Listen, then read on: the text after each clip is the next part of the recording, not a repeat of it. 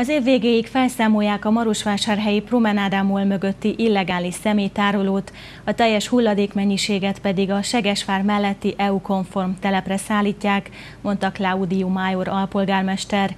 A tárolót néhány éve 45 millió eurós beruházással zárták be és tették környezetbaráttá, azonban a környezetvédelmi őrség többször jelezte Lucián Gogá prefektusnak, hogy a kiszabott bírságok dacára a marosvásárhelyiek szemetének jelentős hányadát még mindig idehordják. A hulladék egy részét, mintegy három tonnát Segesvára viszik, de beslések szerint további két tonna az illegális telephelyre kerül.